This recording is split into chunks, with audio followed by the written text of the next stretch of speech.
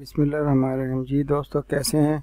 उम्मीद है आप खरीत से होंगे। मैं आज आपको बताऊँगा कि वर्ड के अंदर जो पिक्चर कोई लगाते हैं तो वो कैसे लगाते हैं। ये हमने वर्ड को ओपन किया। यहाँ पे इंसर्ट पे गए इंसर्ट पे जाने के बाद हमने पिक्चर पे गए यहाँ से जहाँ से भी आपने पिक्चर लगानी है, वहाँ से पिक्चर उठा लो। या डेस्कटॉप पे पड़ी हैं। अब जैसे ये पिक्चर है, इस पर हमने क्लिक किया तो ये यहाँ आ गई। अब इसका आपने साइज़ बड़ा छोटा करना है। यहाँ से जाके इसको बड़ा छोटा कर लो। और ये स्क्वायर करोगे तो ये इसको जहाँ मर्ज़ी लगा लो, इस कोने में लगा लो, इधर लगा लो, जहाँ मर्ज़ी लगा लो, इसका साइज़ और इनक्रीज़ करना है तो और इनक्रीज़ हो जाएगा। जैसे मर्ज़ी आप इसको मूव कर सकते हो।